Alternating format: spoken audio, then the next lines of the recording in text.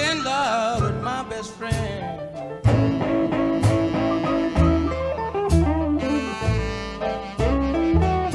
Yes, I once loved a woman.